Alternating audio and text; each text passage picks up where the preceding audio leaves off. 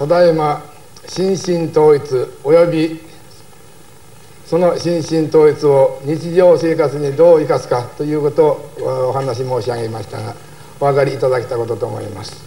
今度はその心身統一をアギドの技にどう生かすかということをお話申し上げたいと思います。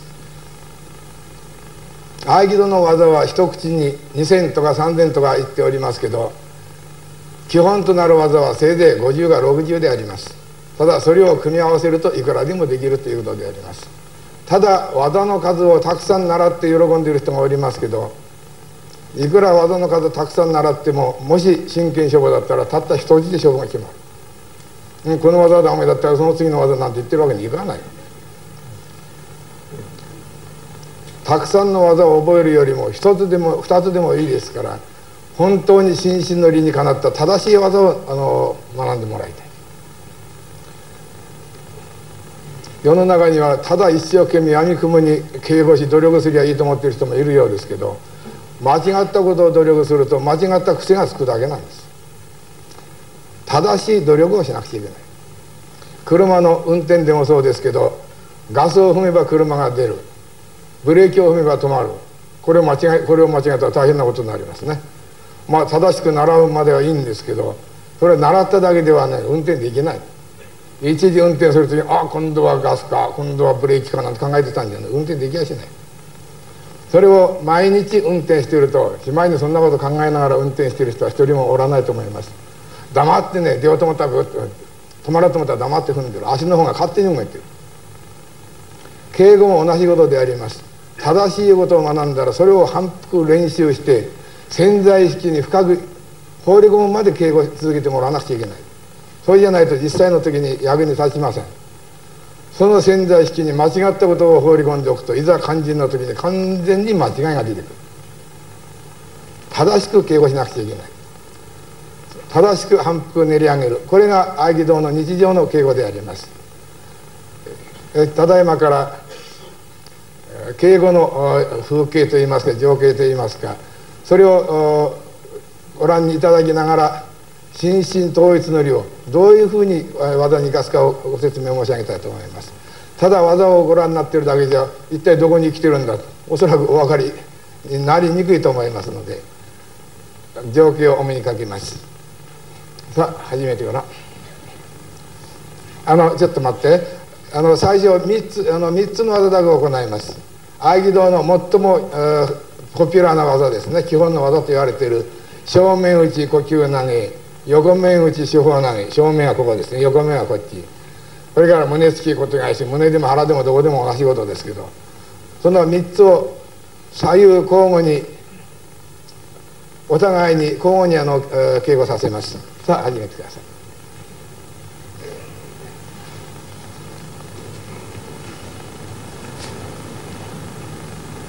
お願いします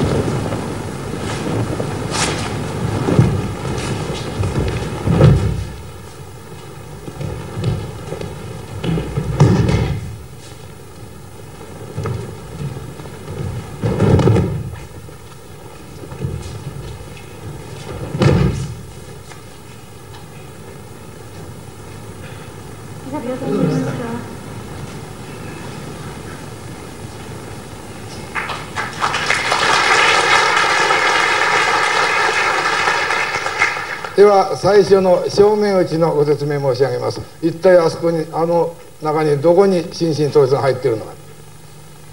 えっとうん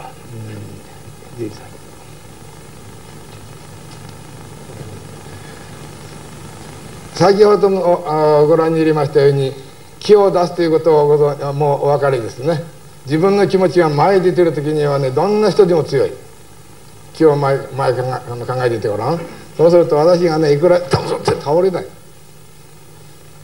ところが後ろを撫でますね。後ろ考えてごらん。前撫でて後ろ考えるって難しいけどこっちを考えながらなぜなら後ろ考えると簡単できるこういう状態だと簡単なの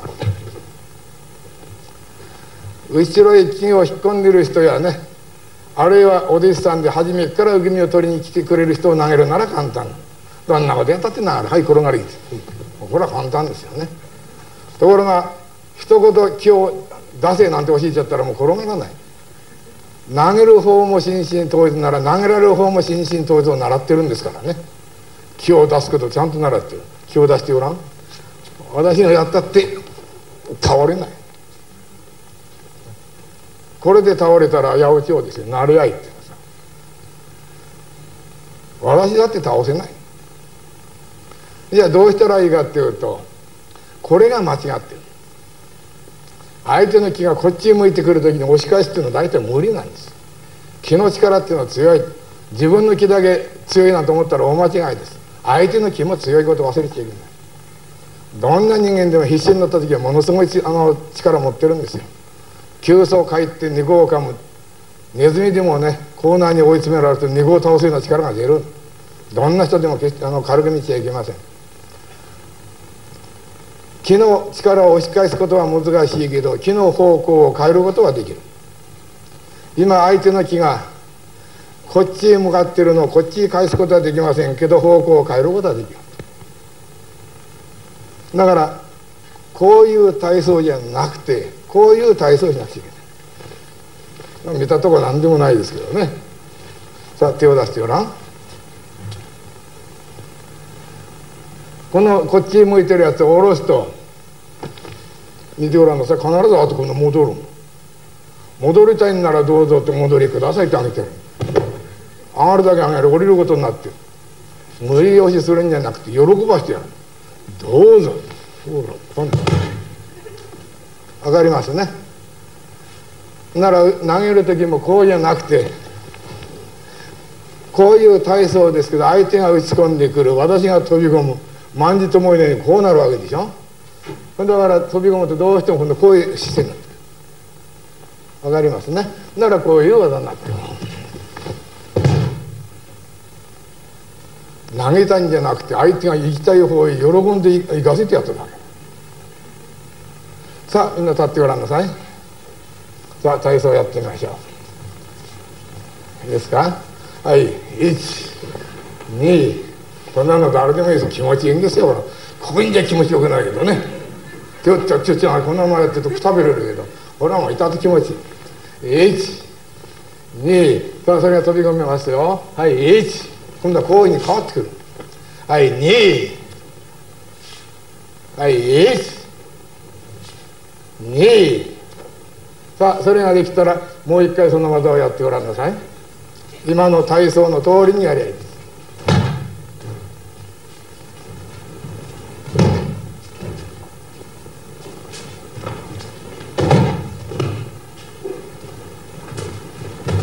はいどうぞはいその次の第2番目の横目打ち四方投げをご説明申し上げます。はいジリさんよく四方投げっていうと合気道ご覧になった方もあるかもしれませんけどこういうことをやる人がいる。これはね逆なんこっちは手が曲がらない。こんなのことを無理してやると腕を打ったりあるいは受け身取ってくる時に頭から落っこって大怪我することになる。逆っていうのは行っちゃいけないんです。天地の理に合することを順といい天地の理に反することを逆という。これをこらい人逆の理という。逆なんかばっかり稽古していると人間のせいまで逆になっちゃう。ろくな人間にならない。必ず人じゃなくちゃいけない。合気道はね逆手は使わない。逆手に見えますけど全然逆じゃない。こう横目打ってきます。これ止めるのは骨折りますけどね。ほっとくとこういく手なんですか。らお分かりですよね。でその通りに相手を喜ぶように変わるようにやったら倒れるってこと。になるまた手を出してくださいぐっと力気を出してくださいよくね外国外国なんか行くと「ああ昨日によしにその場でかけてみろ」なんてやられて困ってる人いるんですよね。引っかかっちゃって。まだ別に大きな力持ちじゃなくても彼女のような女の子でも気をパッて入れられたら私が返せない。気の力っていうのはね誰でも強いんですよね。でどうしたらいいか。お弟子さんを投げられるようになっちゃったら先生を汎用しなくちゃねええですか？今こうしてるといやここまで気が来てますよね。これを押し返しながら無理して動かすとまた大変ですよ。この力を。引っ張っても同じこと。動いてくれない。どうしたらいいかというと軽く持って相手の気を尊重してね邪魔しないの動かして軽くも。やってごらんなさい帰って。こうやって持つって動かないけどね。軽くやるとすぐ動く。そしたらこうやって持つから難しくなる。持たなければ何のことない。指持ってごらんなさい力いっぱいって。こんな持たれるとね私が力入れると指折られますよ。相手なんてことになる抜いちゃったらねいくら握っても握ってから持ってきていくら握ったって力抜いたら痛くないねほら自由にも。ほらくるくるっていくと勝手にひっくり返ってこれが手法なんや。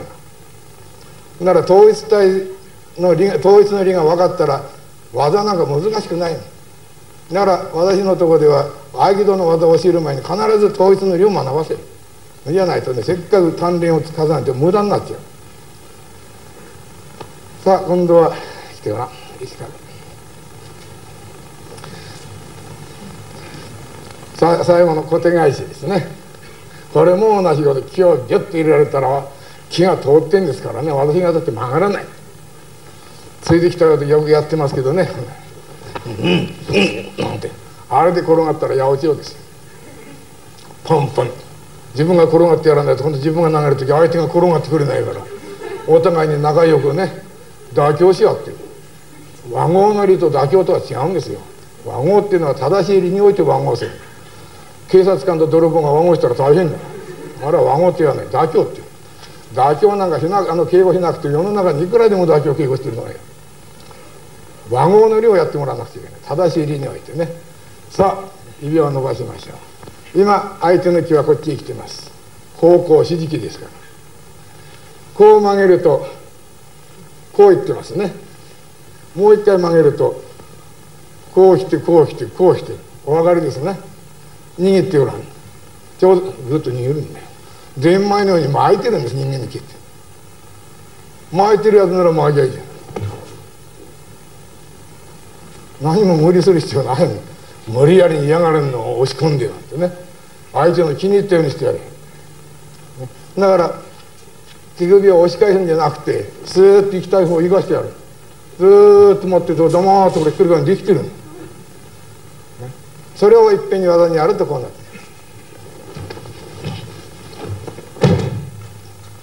力も何もいらない。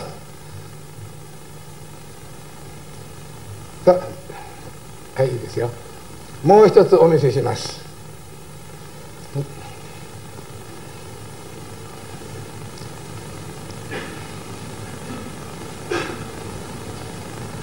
同じ技をやります。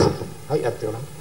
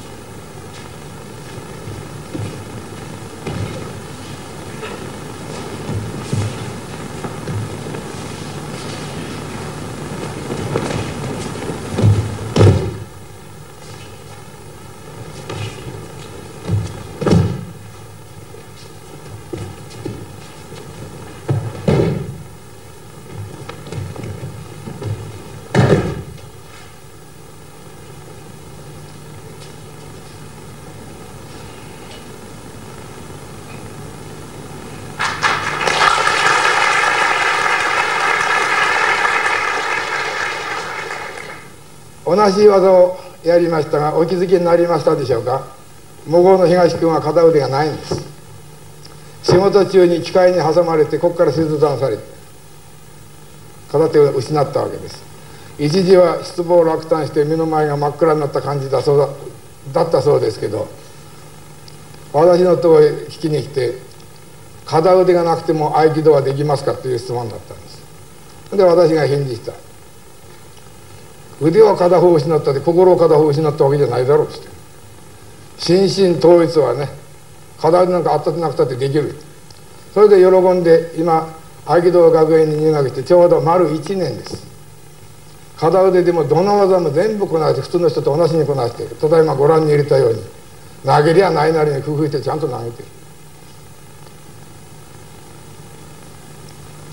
世の世の中には体の腰は何かので困ってる人はたくさんおられると思いますけどああ自分がダメだと思った時に本当にダメになる。体に故障があってもどんな逆境にあっても自分の心を完全あの保って心と体を一緒にする努力をすりゃ、ね、大変な力を持ってるはずそれを世の中の人に渡っていただきたいと思うんです。ただ東君が最初一番困ったのは受け身なんです。右こっち受け身は楽なんです。手があるから。ころがこっちがね受け身取るとね断崖絶壁ですからね。例えばねここ縛っといて受け身取ってごらんなさい。大抵硬いためそれで私がねこっちの腕がないと思うから怖いんで左手があると思いなさい。もともとあったんだからですね。あった記憶があるんだろうってありました。じゃああると思いなさいって「あ分かりました」って途端にできるようになった。さあ皆さん来て右受け身取ってごらん。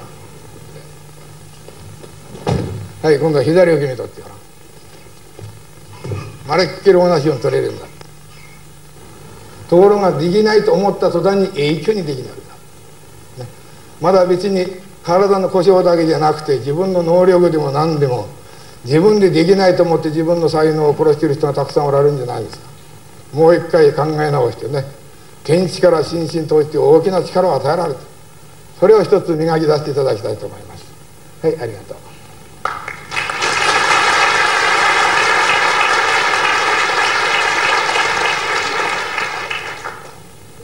ではプログラムの私のご挨拶にも書いておきましたがスポーツと武道の相違を少し技を交えてご覧に入れたいと思いま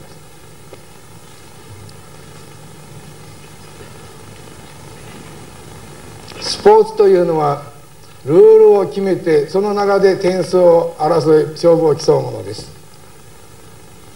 ですからどうしてもルールの中においてのみ、えー、稽古をする。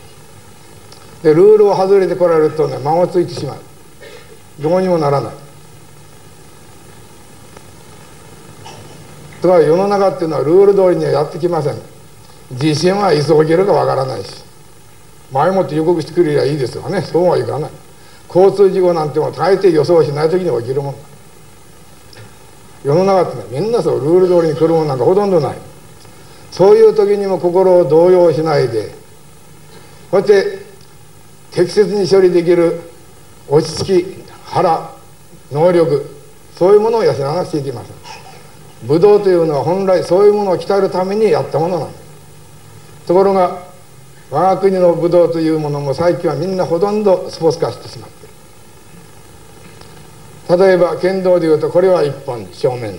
これも一本。これも一本。これは小手は一本。胴は一本。足長叩いたって一本ならない。喧嘩慣れてるやつは一番先足払う。こんなとこ叩いたって一本にならない。頭を叩かれてよけてカスターなんしてるけどカスタンじゃない本当なら死んじゃってる。昔は袈裟掛けしてねここが一番切りよかった辻切りなんてみんな袈裟掛けですよところがあんまりここは切りから一本から外した柔道なんかは必ず持ちに行く。これを入りと入りかそうで持たなければあの技始めちゃいけないことになる。文字にした時にズバッと刺されたらどうしようもない。世の中なんてみんなそうです。ところがどんな事態になっても商用としてしまらず臨機応変それに対処できるように修練するのが本来の武道であったはずであります。それでは技を交えてスポーツと武道の違いをご覧に入れたいと思います。来てごらん。大体これ持ちに来る両方約束がこうする。だからこういうことになってくる。これは制限されたら体の大きい方が得ですよ。ところがどんな大きな人間でも腰を掛けようと思って腰掛けのところへ気が向いた時にさっと引いてごらんなさい。ストーンといくから。あの大きな腰掛けられちゃうんじゃ動かないけどね。持ってから動かすの大変なの。持ちに来る相手の気が向いてる時が一番長い時なのにそれを封じて持ってからやれって言うんだ。からこれはスポーツなあれだったらこうやってここで止めませんよ。この特に大きな連中が来たらねこっちが骨折るでしょうね。さっき君いなくなれ。行きたい方行かせてやれ。分かりますね。あるいはそばへ来て近くへ来てパッと持つと。これを防ごうたって防ぎませんよね。早くて。相手の気がこう来るのをこう止めることは難しい。天下の体制を止めることはいかなる偉人といてもできません。しかし気の方向を変えることはできる。天下の体制を変えることはできる。天下の体制を変えたものを偉人といい英雄と言ってる昔いいですか？こうはできませんけどちょうど5ミリも払うようにこれでいいね帰ってごらん。みんな文句言っちゃう、ね、それでこれを払っておいてそれから間合いを取るこれが何でもないだけど大事なんですよ。これがもし残しておくとそして叩かれ蹴られる。だからこう忙しくなってところがこう引いちゃうとついてごらん。これ伸びきってるからね。蹴ってごらん。私のはいつでもできる、大体ね歩く時に歩いてる時止まれったら皆さんどう止まります？私はこう止まるんですけどね。後ろへ歩く時は止まれしたらこう止まるのは普通なんですけどね。そう思いません？止まれ。後ろで止まれ。あんなことやったらね日常のようにって走しませんよ。歩く時にこうやって歩いてそうやって文字に来てずっとここまで来るから楽にこうやっていくそれでこういう技ができる。また真剣白羽取りなんてあの講談でありますね。やってみましょう。仏剣持ち。私がうちに行きますよ。白羽取りやるんだよ。白羽取りってあのご存知ですか？テレビのコマーシャルも出てたけどね。刀打ってこのパッと止めて「えい!」なんてやるんだよね。うんこれはおりませんよね。でボカーンと蹴られた、ね、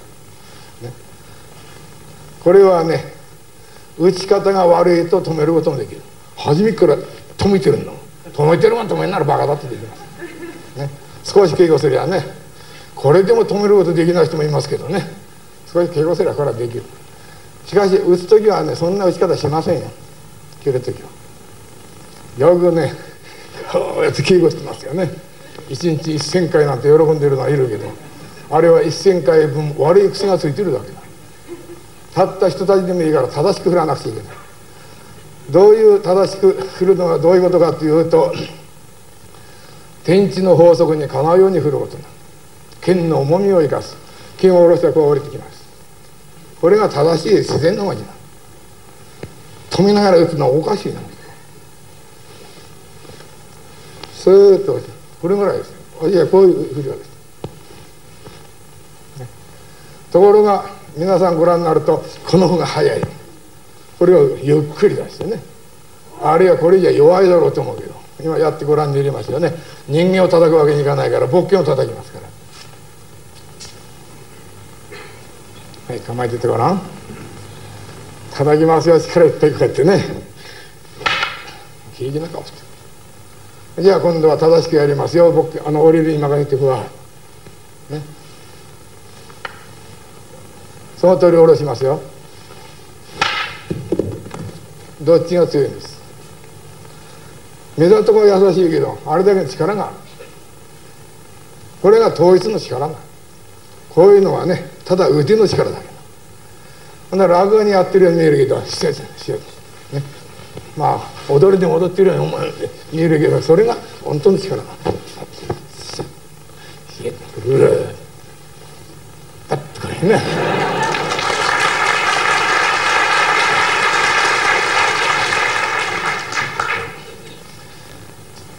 相手を動かす前に心が体を動かすんですから心を動かさなくちゃいけない。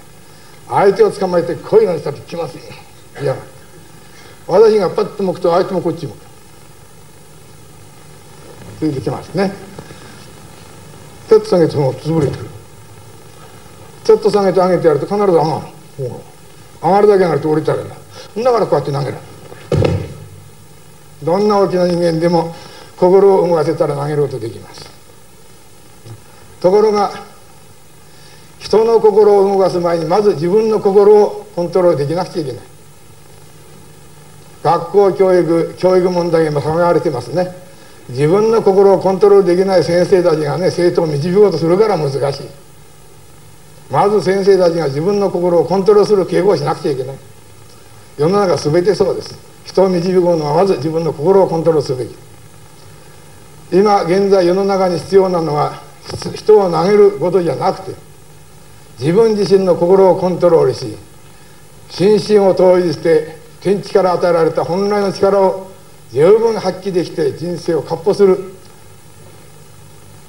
それを私はね世界中の人々にお伝えしたいんです。